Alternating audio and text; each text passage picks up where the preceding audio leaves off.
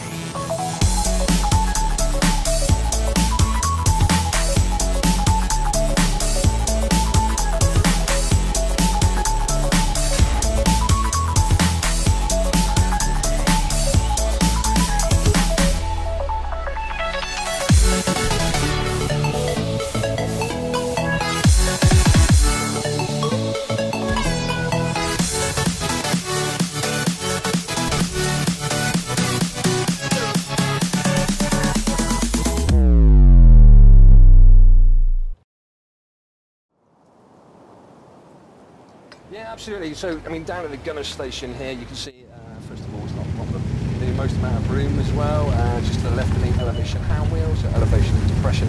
Directly in front of me is the firing control, the gunner's firing control.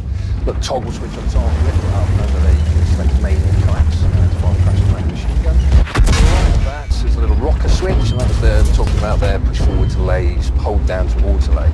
Um, behind that was the, the, the red Bakelite firing switch, commonly referred to. So that was the one which you could uh, you could use to fire the main armament. Um, and obviously, directly in front of you there, you've got the tank laser sight.